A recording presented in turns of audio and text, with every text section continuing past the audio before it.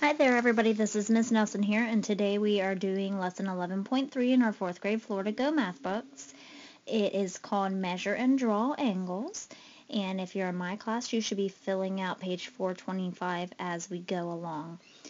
Um, so this lesson you are going to be learning how to use a protractor which is this tool right here and this allows you, this tool allows you to determine the degrees in an angle um, from a drawing. So basically what I'm, I'm wanting for you to do in this lesson is to learn how to use the protractor correctly.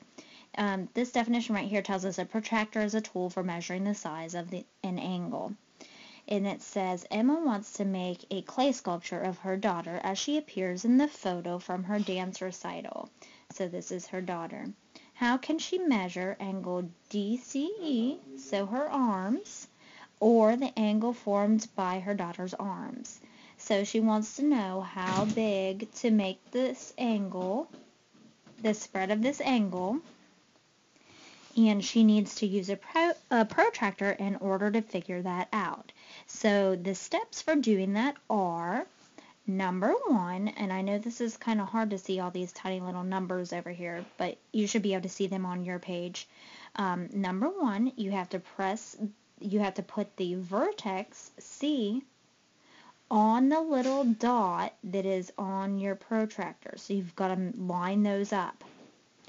And then step number two, you have to put the zero degree mark on the scale of the protractor with the ray CE. So this line over here, you're going to line it up and make sure that it goes exactly to where it says 0 degrees.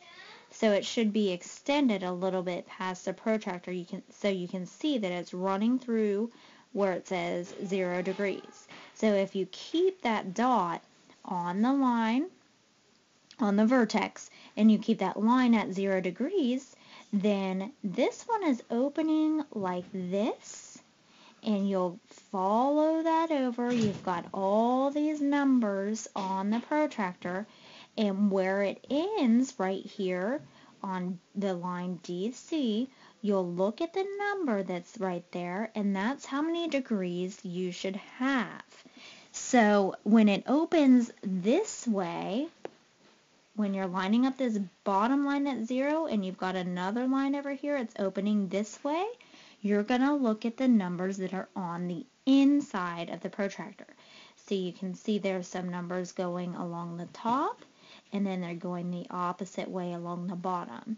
So if it's opening this way, you want to look at the numbers that are on the inside. And on this one, it's pointing to the number 120 degrees. So the angle that's formed by Emma's daughter's, arms is 120 degrees. Now, if you had an angle that was like this, you would line the vertex up in that little hole right here, but your line would be that you would put at zero is going this way. So it's opening the opposite way. It's opening like this. So instead of looking at the numbers that are on the inside, when it opens this way, you're going to have to look at the numbers on the top. So you're going to need to make sure that you're looking at the correct numbers. So that is how you use a protractor to find the measure of the degrees in an angle. If you have any questions, leave me a message. And if you're in my class, don't worry, we will be um, practicing this in class with protractors and you will be able to have some more practice besides just this video. Um, the main thing to remember is which numbers to look at, the top or the bottom, and that's dependent on which way the angle is opening. So that is going to be our job for the rest of le this lesson. Now the other part of this is this one started out where we already had an angle drawn for us, so we just put the protractor on top of it and figured out what, what the degrees was. Now the second step to this would be they'd give you a degree and you'd use a protractor to draw that. So you'd make a vertex and you'd make a line straight out using the edge of the protractor because it's like a ruler. And then say they said 90 degrees. You'd line up the vertex on the protractor and you'd line up this line on the 0 degrees and you'd follow the numbers on the inside until it said 90 degrees and then you'd you'd stop, you'd draw a little dot there and you'd make that line straight with the edge of the protractor so that you would have drawn a 90 degree angle.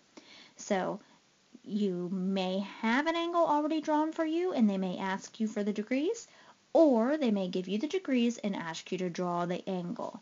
So draw a vertex, draw a line, line this up in the little circle that's on the protractor, line this up at zero degrees, and follow it until your second line ends. And then just look at the number.